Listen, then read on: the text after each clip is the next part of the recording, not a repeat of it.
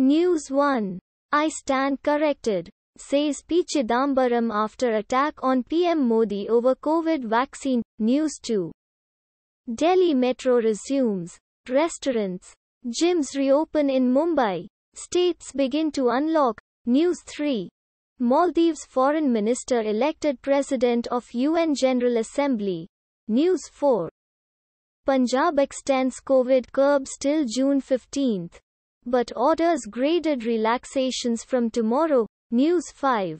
Center revises vaccine rules for those going abroad for education.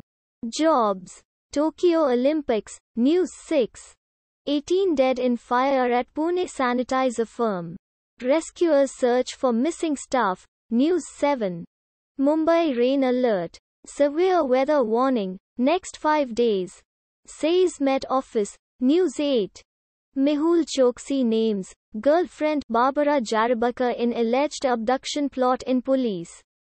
Complaint News 9. Jahan vote. Vahan vaccine. Delhi launches drive to vaccinate those above 45 in 4 weeks. News 10. As Mumbai prepares for unlock. BEST bus service to resume from this date. Latest guidelines here. Automatically generated.